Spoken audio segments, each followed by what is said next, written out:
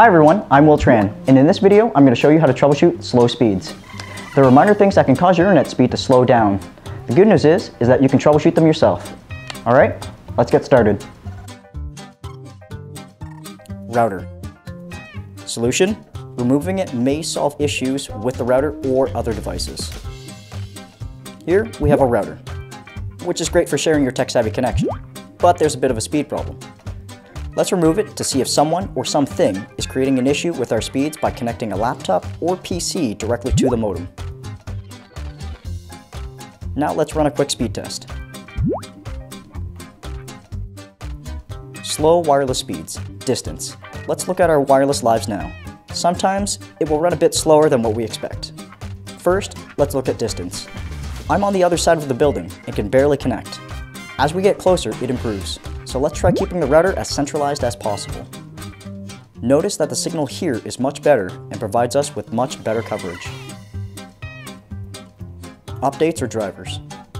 Next, let's take a look at our wireless devices.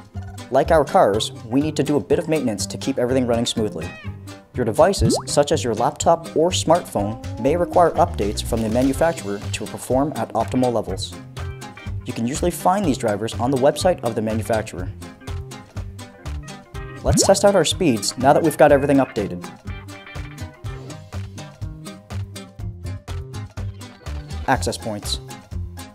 If you happen to live in an area that has lots of wireless points, you may be losing connection or even speed on your wireless. You can try to fix that by simply changing the channel of your wireless router.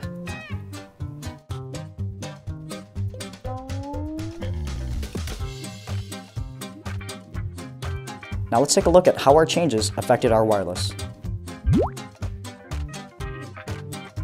Electromagnetic interference. The final problem that most commonly occurs is when we treat our electronics like building blocks and stack them. Not only does this prevent the devices from venting heat, we also create an electromagnetic effect which hinders your wireless signals. The easiest way to fix this is to keep them separated from each other and not one on top of another. Follow my tips and you should be back to your normal internet speed in no time. We hope this video was helpful. If you have any questions or concerns, please feel free to contact us at help www.teksavvy.com. Also connect with us on Facebook and Twitter. Thanks for watching.